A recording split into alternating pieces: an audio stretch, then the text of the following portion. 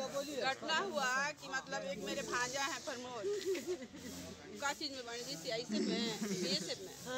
BSF में है प्रमोद यादव। छुट्टी आए थे। तो मोटरसाइकिल से अपना जो भी हो, चाय पानी, नाश्ता के लिए शाहपुर निकले थे। तो जो हत्यारा है, उसके साथ पता नहीं क्या चीज़ को लेके ऐसी मुहर ठुकी हुआ। तो वो फायरिंग करने लगा। तो फायरिंग करने लगा तो उसमें एक सजन यादव भी थे साथ में, प्रमोद यादव के। तो उनको हाथ में गोली लगा और जो प्रमोद यादव थे उनको आ, ऐसे करते हुए निकल गया। तो साथ में है वो भी मेरा भांजा। लोग घर आए दोनों जन। तो मेरा ये बड़ा वाला भांजा है जो सुनील।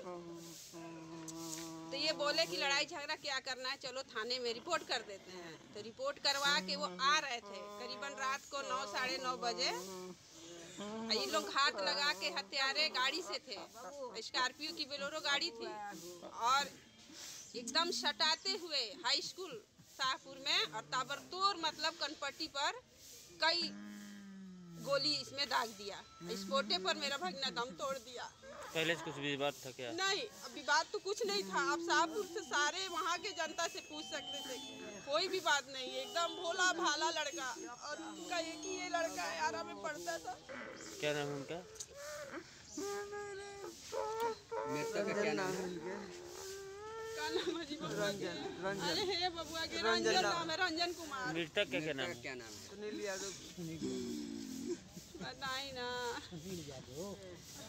सुनील यादव सुनील यादव अरे अच्छा आपका क्या नाम? है मेरा नाम हुआ रेणु देवी सुबह नहीं हम जा रहे थे। वो गाली दिया फिर वैसे बासा बसी हुआ। उसने हमको हाथ छोड़ दिया। हाथ छोड़ने के बाद में काफ़ी मतलब वो देर के बाद में वो आया फायरिंग फायरिंग हमारे साथ में जो हुआ जो हुआ। आया वो फायरिंग फायरिंग करने लगा। बाइक वाला घटना कितना बजे हुआ था? लगभग ये सात बजे करीब में सात बजे करीब में। साढ़े छः सात बजे करीब हुआ था। ये घटना का अंजाम कब दिया लोग? क्या? दस बजे करीब में। दस बजे रात। कहाँ जा रहे थे ये? ये तो आ रहे थे। बाज़ार से बाज़ार से आ रहे थे। एक आदमी को छरा लगा था। घर पर हाँ। तो ये आ रहे थे। हम लोग आ रहे थे। घर में जा रहे थे। हाँ। वो रास्ते में मार दिया। कहाँ पे ये घटना घटी? रोड पर।